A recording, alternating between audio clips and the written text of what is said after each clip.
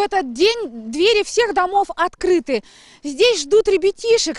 Они приходят сюда за подарками. Считается, что чем больше детей придет к вам в дом, тем больше будет благополучия, счастья и добра. Дети от мала до велика выходят на охоту за сладким. Здесь есть свои излюбленные места, где можно раздобыть вкусные конфеты, мороженое и йогурты. Холодно? Холодно. А ты что, без перчаток? У меня не теплые руки. Ну, покажи нам улов-то свой. Что удалось? Мороженое, чупа-чипсы. Тебе на сколько хватит? На Надолго неделю На неделю хватит? С кем-нибудь делиться будешь? с сестренкой. На сладкую тропу выходят даже малыши. Тем, кто передвигаться не в силах, помогают родители. Самые нетерпеливые съедают трофеи прямо на улице. Частенько пакеты со сладостями не выдерживают и рвутся. Самые удачливые приносят домой до 10 килограмм конфет. К вам сегодня уже э, заходили ребятишки? Заходили с утра уже, с полдесятого они ходили. А мы когда маленькие были, мы еще раньше ходили, в 6 утра. А сейчас э, дети уже как-то... Современные дети попозже ходят.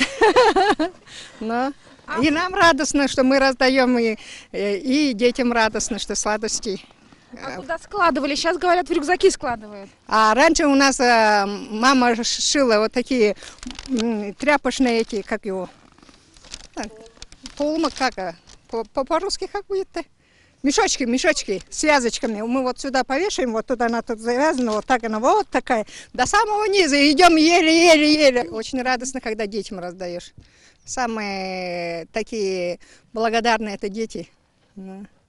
И стараешься самые лучшие, красивые, хорошие, вкусные, настоящие, дорогие конфеты покупать. Традиция сладкого сагалгана пришла из глубины веков. Заходя в гости, дети поздравляют старших, а те их одаривают конфетами. Чем лучше ты себя проявил, тем больше получишь сладостей. Как на детской на площадке я катался с горки, ни на лыжах, ни на санках, прямо на ребенке. Эх, ох, дядя, отпустите. Сколько примерно ребятишек в день вот заходит к вам?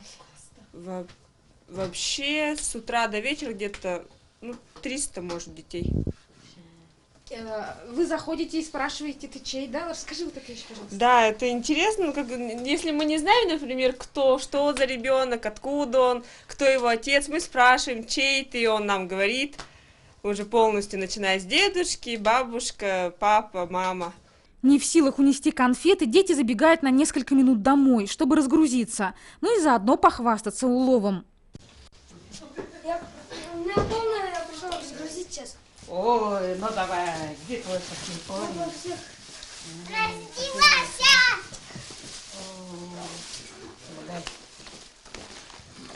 Здесь это у меня, о, может, вылетел. Что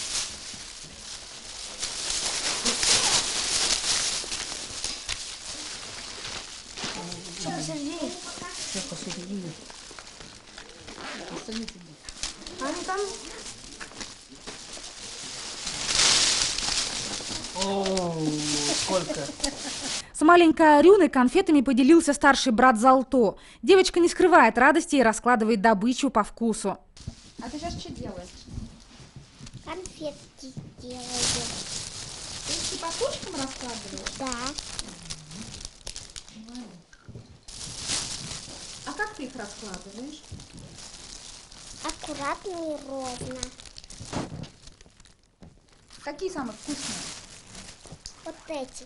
Пока дети ходят по дворам, взрослые делают подношения богам, молятся и готовятся к празднику. В первую очередь мы, конечно, это мы открываем это. Целый год закрыто. Только на Сагалгам Бутудр открывается вот это Бурхан. И сегодня открываем, и для Бурхана это табак. Это здесь белая ткань, конфеты и мучное. И чай открываем, и чистим. И вот это все убираем с пыли и это. Вечером зола лампадку поставим, а днем хуже. А здесь благовоние. Пусть это год синей деревянной лошади принесет нам счастье. Всем, всем, всем. В соседнем доме готовят праздничные блюда. Дарима Цыдыпова уже приготовила домашнюю колбасу сальтисон. Осталось налепить 300 поз. Я делаю позы. Вот дети приехали сагалить. Вот их тоже надо же не только же не будет конфеты кушать. Вот им надо, чтобы горячая пища была. Вот национальное блюдо позы. Я, например, вот правильно делаю по солнцу. Обычно в городских у город поздних делают наоборот. Это уже у них неправильно. Вот откуда солнце заходит, а по- поэтому по солнцу и так вообще с древними так иначе. Должно все по солнцу.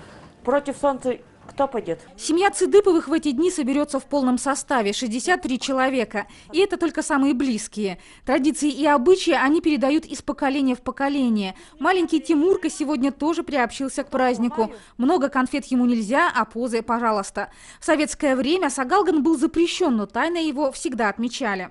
Советский Союз, там что запреты же были. А мы ночью ходили все равно. Своим учителям ходили, учителя открывали нам втихую, потом ничего не говорили, говорили, сагальте. А там, чтобы ни- никто не знал. Мы сагалили, да, собирали конфеты.